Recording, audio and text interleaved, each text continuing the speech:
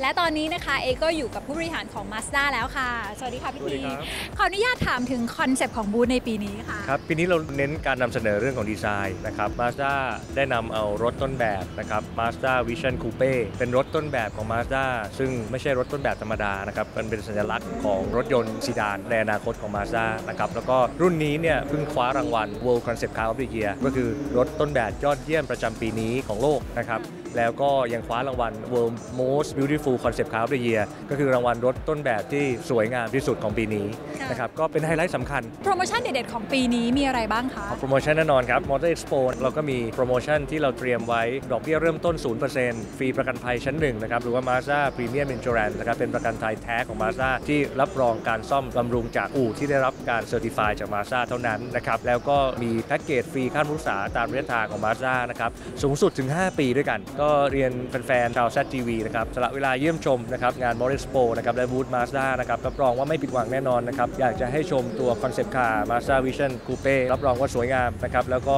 จะได้เห็นอนาคตของ Mazda ว่ารถที่ Mazda จะเอาเข้ามาในรูปแบบของซีดานจะเป็นอย่างไรนะครับและแน่นอนข้อเสนอนะครับที่เราเตรียมไว้สำหรับผู้ที่สนใจที่จะซื้อรถในขณะนี้นะครับเรียนเชิญที่บูธ Mazda งาน Motor Expo ครับขอบคุณนะคะ